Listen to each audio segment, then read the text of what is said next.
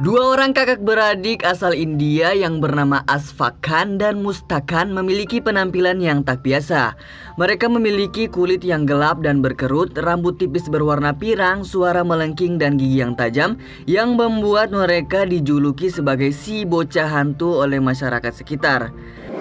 Nah, sejak kecil Askaf dan Mustak sudah diasingkan oleh warga desanya karena penampilan mereka tersebut. Keduanya tak bisa bermain keluar rumah sesuka hati sebab para penduduk desa merasa ngeri melihat penampilan mereka yang tak biasa. Nah, sebetulnya nih, Askaf dan Mustak mengalami kelainan genetik yang disebut dengan hipohidrotik ectodermal dysplasia.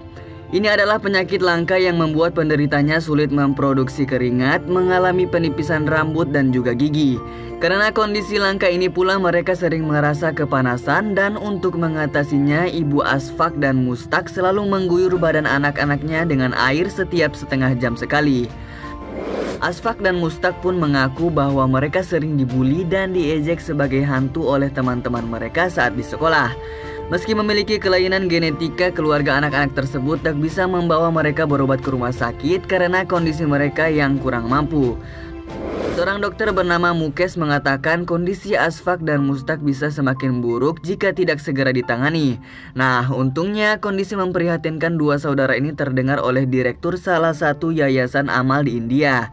Hingga akhirnya tim dari yayasan tersebut mendatangi desa tempat tinggal Asfak dan Mustak untuk memberikan bantuan pengobatan kepada keluarga mereka.